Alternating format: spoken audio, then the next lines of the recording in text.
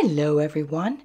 Today we're going to read The Christmas Penguin by Mary Packard, Scholastic Reader Level 1, published by Scholastic INC. Dear Santa, wrote Rollie, I know penguins don't fly, but I sure wish that I could give it a try.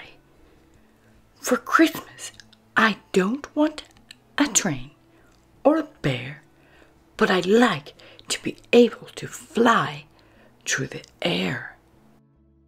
Rollie finished his letter and mailed it that day. He called all his friends and went off to play. They slid down big hills that were covered with snow, then landed kerplunk in the water below. Rollie's wings were like fins. He could swim anywhere, but try as he might, they would not work in the air.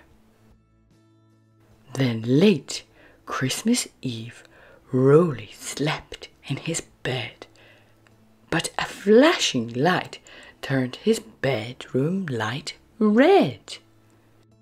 A voice woke him up. Rise and shine, it cried. Rollie rubbed his eyes and saw Santa outside. Rollie climbed through the window into Santa's big sleigh. Before Rollie knew it, they were on their way. A strong polar wind pushed the sleigh very fast. Rollie's wish had come true. He was flying at last. The blustery wind blew them every which way and a sack full of toys fell right off the sleigh. Santa tried to catch it, but he was too slow. They watched the sack fall to the water below. Santa landed the sleigh and reached for the sack, but it sank in the water. He could not get it back. I'll find it, cried Rollie. He dived in with a splash. He swam to the bottom and was back in a flash.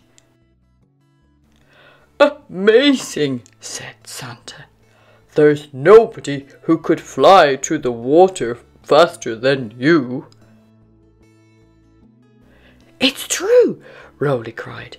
I guess you could say we penguins do fly in our own special way. Then Rollie helped Santa deliver the toys all over the world to good girls and boys. Thank you, called Santa. You're my special elf, so always remember, be proud of yourself. Ho, ho, ho! Merry Christmas. Ah, uh, that's the end of story time. Thanks for watching and remember to subscribe today to English Lessons Online. Goodbye.